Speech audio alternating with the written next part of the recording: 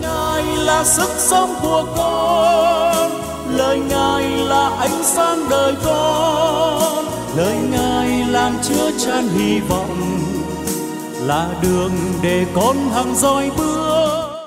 Lời Ngài là sức sống của con, lời Ngài là ánh sáng đời con, lời Ngài làm chứa chan hy vọng, là đường để con hằng dõi bước. Laudetur Jesu Christus, ngợi khen Chúa Giêsu Kitô.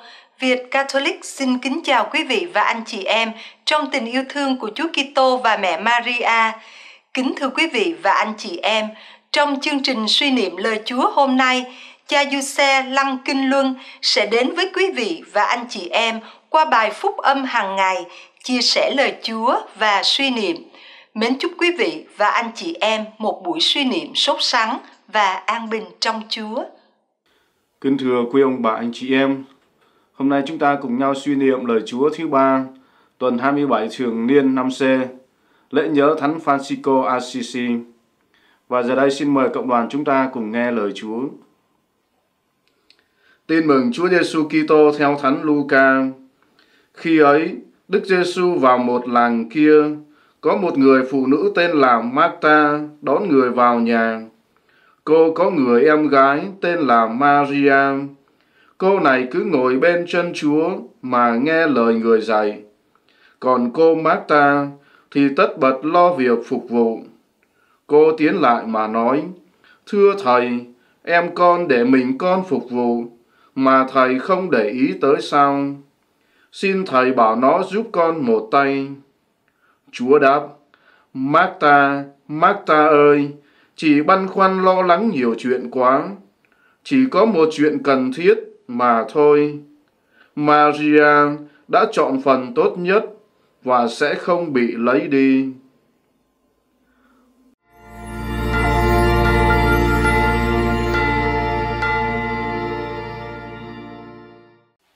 Kính thưa quý ông bà anh chị em, hôm nay chúng ta cùng nhau suy niệm lời Chúa tuần thứ thứ ba tuần 27 thường niên mừng lễ nhớ Thánh Francisco Assisi.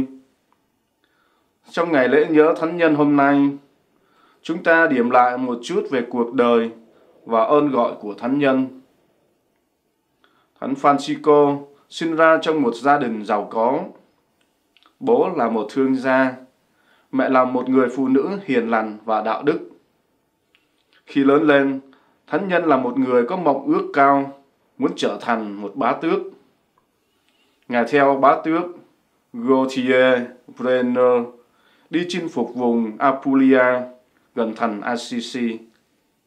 Nhưng rồi ý Chúa khiến thánh nhân bận nặng và buộc phải trở về quê hương. Sau lần đó, thánh nhân đã tìm thấy ý Chúa và thay đổi ước mộng của mình.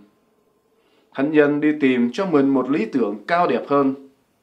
Chuyện kể lại, một hôm, lúc thánh nhân đang cầu nguyện trong nguyện đường thánh Dami, Damio, thánh nhân nghe thấy tiếng Chúa phán ra từ cây thánh giá. Francisco, con hãy đi sửa lại ngôi đền thờ của ta đang đổ nát. Hồi đầu thánh nhân hiểu rằng ý Chúa muốn Ngài sửa lại những ngôi nguyện đường đổ nát ở xứ Ngài. Nên tình nguyện đi xin từng viên đá xem về sửa lại những ngôi nguyện đường này. Nhưng sau này Ngài mới hiểu ngôi đền thờ mà Chúa muốn nói đến chính là hội thánh. Cũng một lần khác, khi thánh nhân đang dự lễ, Ngài nghe được đoạn phúc âm, các con hãy đi rao giảng tin mừng khắp thế gian. Và sau ngày lễ hôm đó, thánh nhân cũng nhận ra tiếng gọi của Chúa.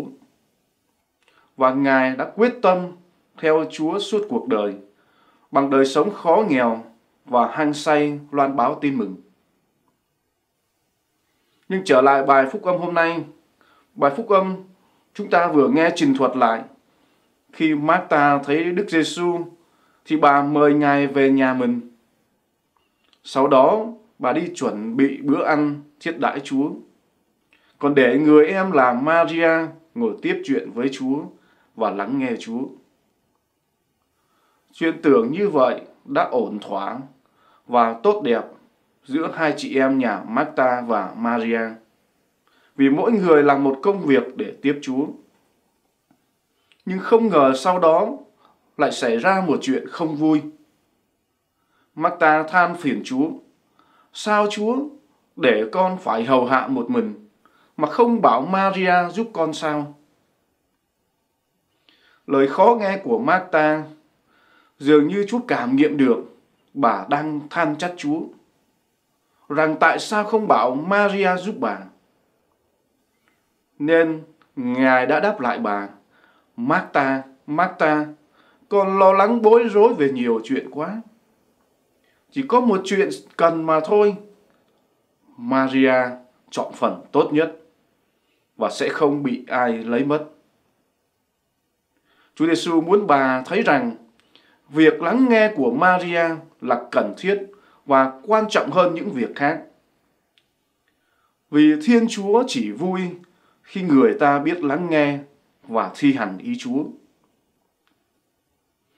Có lẽ vì vậy mà ngày hôm nay, có nhiều người đang làm rất nhiều việc tốt, nhưng vẫn chưa làm đẹp lòng Chúa vì không theo ý Chúa. Họ lắng nghe tiếng Chúa nói với họ. Cũng như nhiều người khác nhưng không chịu lắng nghe Chúa. Họ mắc một sai lầm giống như Marta, cứ nghĩ công việc của mình sẽ làm đẹp lòng Chúa. Nhưng chuyện lại không như họ nghĩ.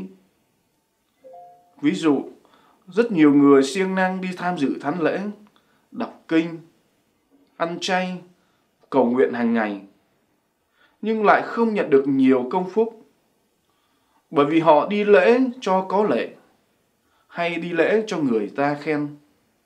Rồi cũng có khi đi vô nhà thờ, thì chia trí đủ mọi chuyện trên đời, và quên luôn việc nghe giảng của linh mục và lời Chúa ngày hôm đó. Cho nên chúng ta mới nói, không phải cứ siêng năng đi tham dự thánh lễ, đọc kinh cầu nguyện nhiều mà được chúc phúc. Nhưng còn phải lắng nghe, nghe giảng và đem lời Chúa ra thực hành.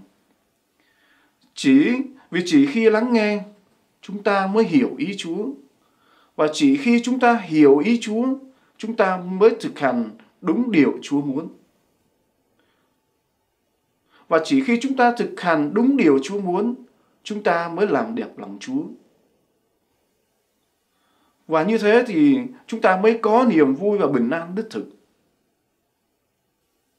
Cho nên trong giờ suy niệm này, chúng ta cũng xin Chúa soi sáng cho chúng ta biết sống theo gương của Maria, làng Betania hay theo gương của Thánh Francisco thành Assisi, hay theo gương của Đức Mẹ, luôn biết lắng nghe và thi hành ý Chúa trong cuộc đời. Amen.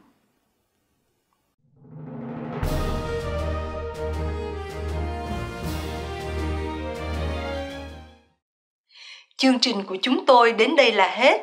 Xin quý vị giúp phổ biến rộng rãi chương trình này đến với gia đình, thân quyến và bạn bè xa gần như một cách thức để truyền giáo. Xin cảm ơn và hẹn gặp lại quý vị và anh chị em trong lần phát hình tới. Laudetur Jesu Christus, ngợi khen Chúa Giêsu Kitô.